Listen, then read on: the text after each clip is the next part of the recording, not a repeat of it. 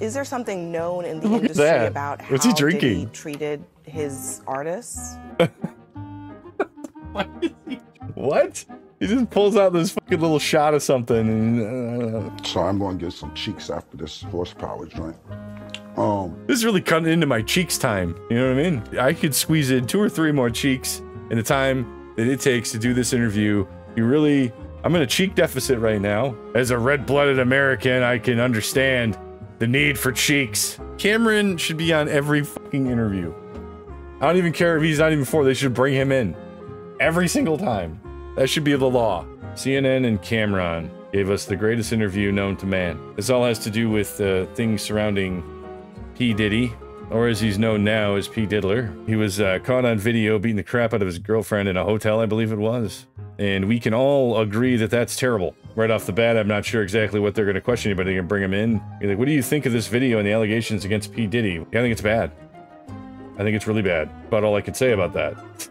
But somehow, Cam'ron was able to give us more. I don't fault Cam'ron for this at all.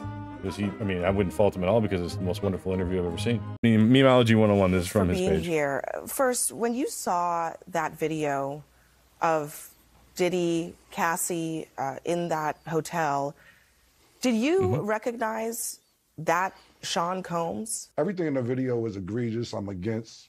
Uh, I don't support. So that's important to say that. If he wasn't on this interview, I, if somebody asked me, do you think Cam'ron supports uh, child trafficking and uh, lady abuse?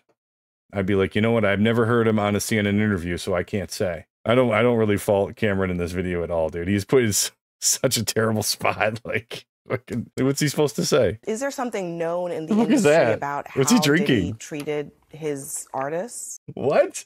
He just pulls out this fucking little shot of something and, uh, and he starts just fucking sipping it, man. She's trying to ask him a question. She's asked him a question. He just pulls it. He's not even. He's not even really present because it doesn't.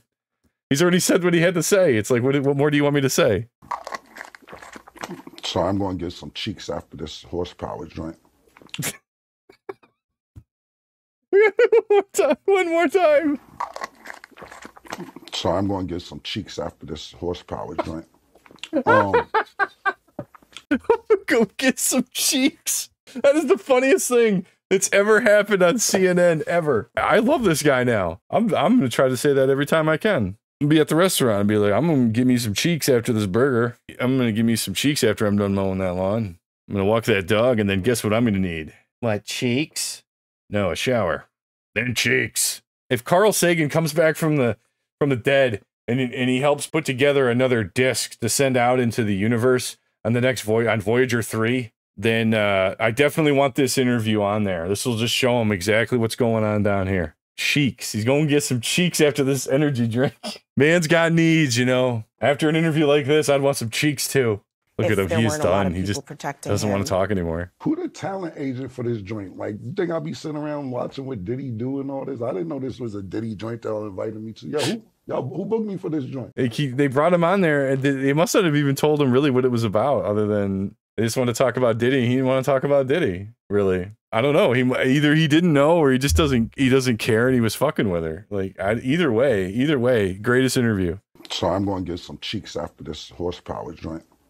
Um, So that's all. That's all for now. I, I'm stuck on the cheeks thing, and I'm going to keep repeating it. So I better cut the video now. I'm sorry if you've watched this long, and and your brain cells have died one at a time. Is there any other way to do it? I don't know. Maybe more at a time. Until we meet again, make sure you get those cheeks. Okay.